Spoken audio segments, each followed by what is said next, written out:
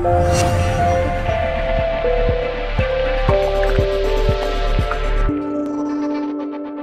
preocupación, la gran preocupación institucional desde las rurales, CARFE y CRA, eh, fue la sorpresa y la preocupación por este decreto de necesidad de urgencia de un presidente que nombra un interventor en un proceso concursal, en un proceso judicial donde actúa un juez, ¿no? Nos parece eh, que es un atropello al Poder Judicial. La propiedad privada es inviolable y solamente puede ser violada, si ese sería el término de Constitución Nacional, artículo 17, por una sentencia de un juez o por una ley, ley de expropiación, no por un decreto de necesidad de urgencia de un presidente de la nación, digamos, un presidente no está por encima de un juez, entonces, habiendo un proceso concursal con un juez que interviene, con los síndicos, que son los, órganos naturales de un proceso, con los acreedores y todos los letrados eh, desplegando su actividad y controlando la empresa. Eh, y un comité, eh, un comité contralor, digamos, ¿no? Que está conformado por Banco Nación, precisamente, dos bancos más. Nos parece totalmente desafortunado y descabellado que se intrometa otro poder, poder ejecutivo nacional, eh, como, como, tutor de lo que ya está funcionando, digamos, ¿no? Es en todo sentido es un atropello al poder judicial, es un atropello al poder legislativo, porque estamos gobernados por decreto de necesidad de urgencias. Supongamos que cumplimentado el trámite parlamentario y luego a partir de diputados, senadores, esto terminara aprobándose. ¿Les preocupa a ustedes y en todo caso cuál sería la envergadura en cuanto al manejo que el Estado podría llegar a tener del tema de los granos? en cuanto a la exportación, ¿no? Sí, puede ser, si, si el desenlace es la expropiación, Vicentín tiene un, un peso, participa un 10% de las exportaciones, tiene un peso, pero no, no es determinante. Eh, se ha dicho que se busca una suerte de tener una empresa testigo en el, en el, en el negocio, en el mercado de granos. Sí. Eh, la verdad que el mercado de granos, eh, las reglas de juego son bastante claras.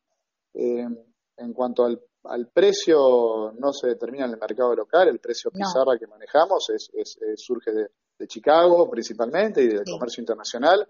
Los, los dos factores que juegan a nivel local es, son los derechos de, exporta, de, de exportación, digamos, uh -huh. y el, el, tipo de cambio, digamos, ¿no? Son dos órbitas más del Ministerio de Economía, ni siquiera pasan por el Ministerio de la Producción de la Nación, y mucho menos entiendo que eso va, va, va, va a incidir una Vicentín gestionada por un gobierno nacional, digamos, ¿no? Acá el, el, el mercado, la, la, los dos factores son los que te mencioné, derecho de exportación eh, y tipo de cambio, digamos, ¿no?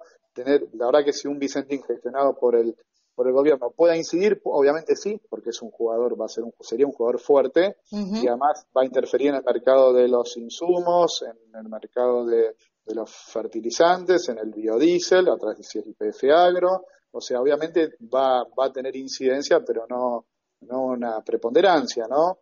Pero bueno, puede ser a lo mejor el camino que se está buscando es tener justamente una herramienta para tener mayor preponderancia e incidencia en el mercado. Y eso no sé si es bueno, digamos, ¿no? Entiendo que eso puede ahuyentar jugadores eh, en, un, en un negocio tan sensible y donde la exportación es clave en un contexto donde el país necesita justamente que vengan dólares al país y no ahuyentar a aquellos actores que pueden traer esos dólares, ¿no? Ignacio, y ustedes desde lo que tiene que ver con la parte rural, ¿cómo ven el rol del gobierno de la provincia en, esta situación, teniendo en cuenta, digamos, que es una empresa emblema en Santa Fe? Nos sorprende porque nosotros como entidad le hemos llevado esta preocupación, el caso Vicentina, a la provincia, hemos estado mucho diálogo con el ministro de la Producción por este tema y también con el ministro Basterro a nivel nacional. Digamos, siempre hemos tratado de interiorizar a provincia y nación porque sabemos que la envergadura de Vicentín y el impacto que tiene esta crisis en todo el territorio provincial y toda la región, digamos, sí. ¿no? y a nivel país. Eh, nos sorprende, nos sorprendió el rol, de hecho en el CARFE salió con un comunicado ayer pidiéndole al gobernador que revierta su posición. Si el gobernador se pronunció a favor de la intervención, nos parece está avalando un atropello al sistema republicano, digamos. Un gobernador de provincia, de la provincia, una de las más importantes del país, con fuerte actividad agropecuaria, donde está el polo exportador y donde está Vicentín, me parece, nos parece que tendría que tener un rol más definido, más firme, y tendría que ser el protagonista de, desenlace Vicentín, dio un paso en falso o no muy claro con este apoyo a esta medida de un gobierno nacional y nos parece que eso debería revertirlo, ¿no? Y respecto a, a la situación de Costamaña, ¿no? En medio de esto que también llama la atención y hace ruidos y inclusive hasta su continuidad, ¿no? Sí, Costamaña se ha, se ha pronunciado públicamente eh, que está en contra de la expropiación. No, no se ha manifestado en cuanto a la intervención. digamos, ¿no? Pero, pero sí, eh, Costamaña ha estado en diálogo con nosotros y, tiene muy, muy claro cuál es la preocupación de los productores afectados en toda esta decisión.